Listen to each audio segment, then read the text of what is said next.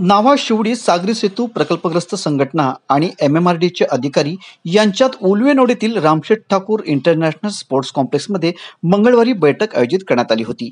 यावेळी सकारात्मक चर्चा झाली. या बैठकीला नावा शिवडी सागरी सेतू प्रकल्पग्रस्त अध्यक्ष सुरेश पाटील कृषी उत्पन्न बाजार समितीचे संचालक राजेंद्र पाटील कोळी समाजाचे पनवेल तालुका अध्यक्ष उत्तम कोळी भाजप उलनोड एकचे अध्यक्ष मदन पाटील तरघरचे सरपंच मचिंद्र कोळी उपसरपंच देवेंद्र पाटील शैलेश भगत तर एम एम आर डी एकडून मॅनेजर एम पी सिंग विद्याकिनी उपस्थित होते. यावेळी बोलताना लोकनेते रामशेठ ठाकूर यांनी सेतू प्रकल्पात बाधित होत असलेल्या उर्वरित मच्छीमारांनाही नुकसान भरपाई देण्यात यावी अशी मागणी केली. तसेच सेतूमुळे बाधित होणाऱ्या गवान नावा जासई वहाळ उलवे तरगर मोहा मोरावे परिसरातील सर्व मच्छीमारांना न्याय मिळाला पाहिजे. ज्यांना अद्याप भरपाई मिळालेली नाही त्यांना ती मिळावी. यासाठी एम एम आर डी एकडून लवकरात लवकर कारवाई करण्यात यावी. यावर एम एम आर डी एच्या अधिकाऱ्यांनी सकारात्मक प्रतिसाद देत पात्र मच्छीमारांची कागदपत्रे तपासून ती पुढे पाठवू.